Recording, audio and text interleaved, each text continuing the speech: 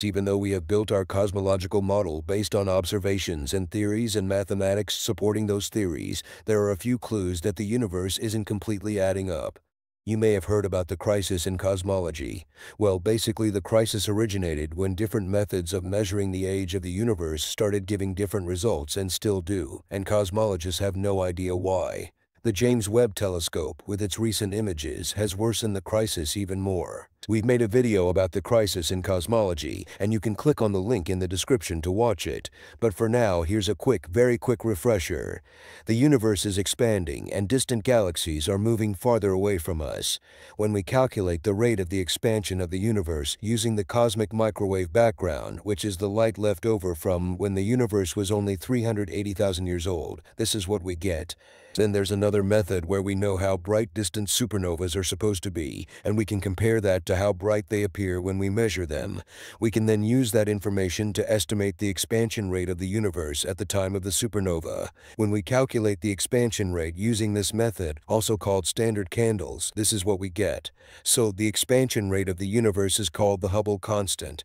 However, the difference between the result of the two methods is called the Hubble tension, and this, my friends, is the crisis in cosmology cosmology. But this is not the only crisis anymore. There is a new crisis in town, and it appears to be a distant cousin of the crisis in cosmology, and it is that cousin that we very much despise. I spent all my life developing a particular uh, theory of the universe, and now that theory is being questioned. I welcome that because that's how we move forward. That's how we make progress in science. Welcome to territory. This is your space.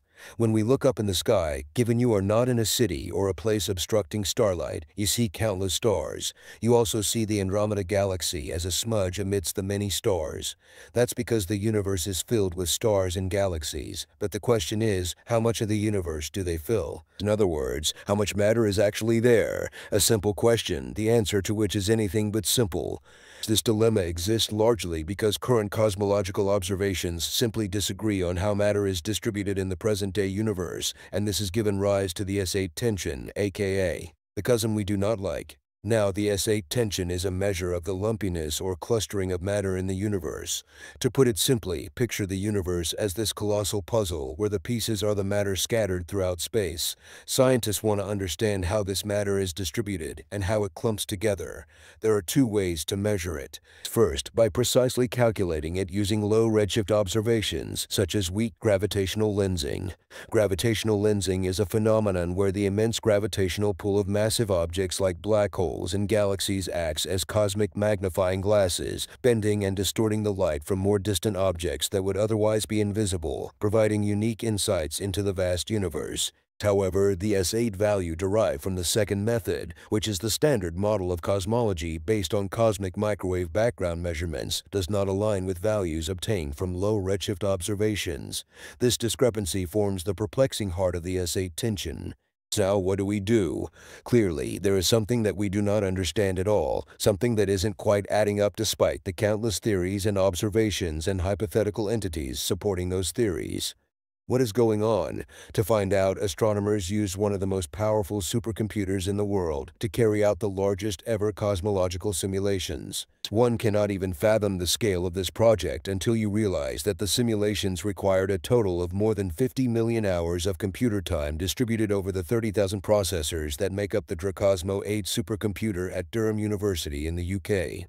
The project is called Flamingo, a convoluted acronym of Full Hydro Large-Scale Structure Simulations with All-Sky Mapping for the Interpretation of Next-Generation Observations. Apart from its huge size and high resolution, Flamingo sets itself apart from earlier simulations by incorporating much more than gravity alone. Up to now, most of the cosmological computational simulations of our universe focused on modeling dark matter only, as it is the main matter component. However, even though normal baryonic matter makes up only a fourth of all the mass in the universe, it can have a big effect on how cosmic matter is distributed at small distances. For instance, galactic winds powered by supermassive black holes and supernova explosions may stall the growth of galaxies. And unlike previous simulations that only consider dark matter, Flamingo takes into account and tracks ordinary matter too, because although dark matter dominates gravity, the contribution of ordinary matter can no longer be neglected. While the simulation marked significant progress, like accurately matching the formation of the Milky Way and Andromeda Galaxy amongst many others, it fell short of explaining the observed weak clumping of matter in the present-day universe. In other words, it failed to resolve the very thing it was created to help solve, the S8 tension. Or might I say that the Flamingo simulations indicate that something is terribly wrong with our cherished standard model of cosmology. The simulation also contradicts the observations of the James Webb Space Telescope and other observatories about the distribution of matter in the universe. The current theory beautifully explains how galaxies evolved, but there's a problem. It predicts that they're 7% more closely clustered together than they actually are. The new computer simulation is much more detailed, and it takes into account the role of supermassive black holes, but that's not right either. It's still 5% more clumpy. Now, I don't know about you, but this is great for science because now we know that we are headed somewhere and our cosmological model needs some major revisions. And that's how science works. There is a major shift about to come, and it is already on the horizon. That's what I feel. What do you think? Drop in your comments below, and don't forget to subscribe to Territory because this is your space. Also, channel membership is now live. Please help me buy a cup of coffee if you enjoy my content. Until next time, Worldview Theory.